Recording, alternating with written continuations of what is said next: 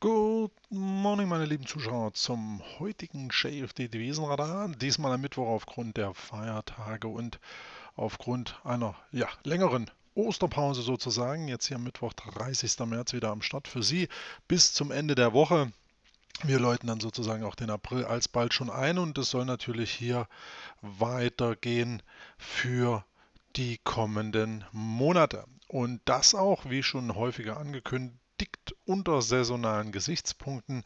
Ergo, dass wir hier uns immer wieder mal auch Währungspaare unter Swing- und Positionstrading-Gesichtspunkten ansehen, die hier sehr, sehr interessant scheinen. Und wir hatten hier Anfang März, Sie erinnern sich vielleicht den Australdollar gegenüber dem japanischen Yen im Fokus, der sich hier, und wir sehen hier rechts oben im Chartbild, die saisonalen Tendenzen äh, bzw. den charttechnischen Verlauf und hier die Erwartungshaltung im Sinne der saisonalen Tendenz. Und ja, das war mehr oder weniger ein absoluter Volltreffer.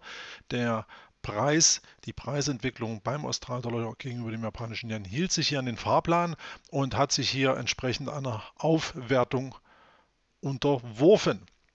Der Punkt war auch, dass wir hier eine kleine Range hatten. Ähnliches übrigens aktuell beim US-Dollar gegenüber dem japanischen Yen, den wir morgen beim Devisenradar unter die Lupe nehmen werden. Das heißt, wir haben hier einen Preisbereich, zwischen dem der Markt oder vielmehr das Währungspaar immer wieder pendelte dann beim Australdollar gegenüber japanischen Yen hier mit Schlusspreis 1.3. der Startschuss für eine Aufwertung bis zum 1.3. und genau das geschah auch. Also hier wirklich vortrefflich. Es wurde sogar orakelt, will ich fast sagen, dass es hier einen leichten Rücksetzer und auch nochmal eine Attacke hier an 86 35 etwa geben könnte.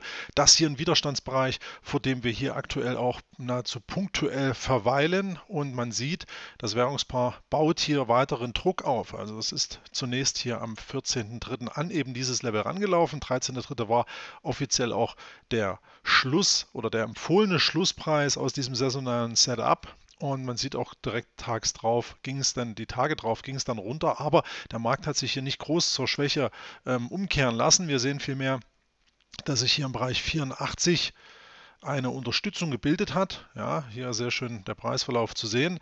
Und ergo der Preis von hier wieder nach oben abgeschnellt. Und jetzt sind wir hier wieder vor dieser Widerstandszone, vor diesem Widerstandsbereich, knapp über 86 Yen. Und das ist, wie gesagt, eine sehr, sehr interessante Zone, die hier schon einst bis zum ja, Januar hier als Unterstützung diente, zuletzt dann hier Ende Januar nochmal bestätigt wurde und das Ganze eben auch hier im saisonalen Kontext zur Mitte des laufenden Monats.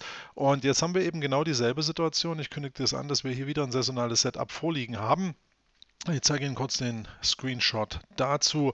Australdollar Yen bullisch mit dem Schlusspreis 30.03. bis zum 27.04. Also das sind hier 20 Trading Days, 29 Kalendertage. Das ist eine große Hausnummer, aber wenn wir uns ansehen, was die Statistik sagt, das ist im Prinzip eine Trefferquote von 80 Prozent während der letzten zehn Jahre führten im Prinzip acht Trades ins Ziel.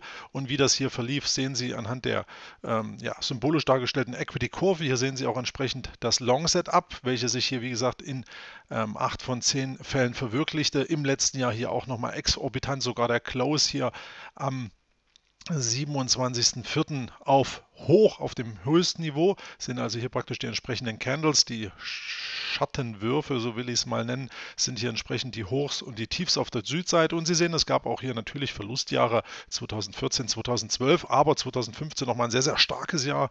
Und jetzt ist die Frage, wie es dieses Jahr wird. Das wissen wir nicht. Letztlich haben wir nur diese Indikation, diese Vorausschau in Sachen der Saisonalität, die sich auch hier durch den Forex-Bull nochmal sehr schön darstellen lässt. Das heißt, Sie sehen hier bis insbesondere hier zum 7., 8. April haben wir hier eine sehr, sehr starke Phase von Saisonalitätsimpulsen. Dann kann es einen leichten Rücksetzer geben, aber bis zum 27. spricht eigentlich nichts dafür, dass wir weitere Hochs machen. Das Ganze wird jetzt hier auch technisch begleitet durch einen möglichen Ausbruch über 86,35 rund. Sollte dies geschehen, äh, geschehen, dann hat das Währungspaar viel mehr Chancen, hier in Richtung 90, 90 plus anzusteigen. Also hier wieder eine sehr, sehr schöne Situation. Prallt der Preis nochmal ab, kann es hier zu einer leichten Konsolidierung kommen. Ähm, ergo dürfte das aber nichts daran ändern, wenn wir über 86, 35 rausziehen, dass die nächste Bullenpower hier Einzug hält und sozusagen der Markt, Markt weiter anzieht. Kritisch wäre es, das ist technisch sehr schön einfangbar, unter 84 Yen. Also mal aufpassen, was passiert.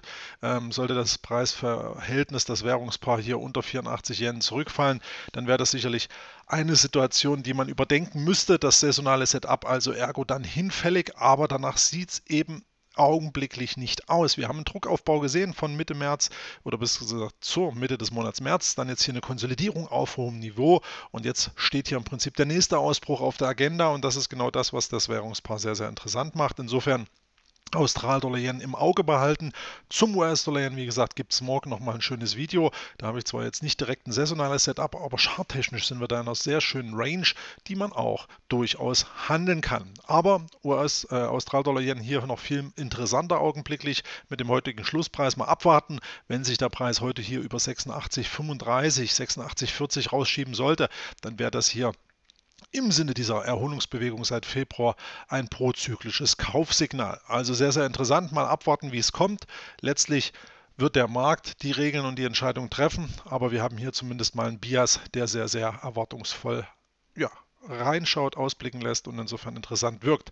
Das, meine lieben Zuschauer, wäre es dann praktisch heute schon wieder in aller Kürze und Würze gewesen in Sachen Devisenradar. Ähm, die Osterwoche dahingehend ja auch mal ein Stück weit tricky. Wenn Sie mögen, heute Nachmittag gibt es nochmal das JFD Devisenradar Webinar. Da werden wir auch nochmals alle anderen Pairs, Major FX Pairs unter die Lupe nehmen und so ein Stück weit die Tendenz für April ausloten, um dann mal zu schauen, was auch insbesondere Euro-US-Dollar noch zu bieten hat, nachdem gestern ja Janet Yellen hier nochmal für einen schönen 100-Pip-Auftrieb gesorgt hat. Das wird spannend. Wenn Sie mögen, können Sie sich kostenlos dafür anmelden. Ich sage jetzt erstmal Danke fürs heutige Dabeisein, wünsche Ihnen einen erfolgreichen Handelstag. Wenn Sie in den Osterferien noch sind, dann natürlich diese. Genießen Sie die Zeit. Wenn Sie mögen, wie gesagt, hören wir uns alsbald wieder. Ihr Christian Kämmerer und tschüss.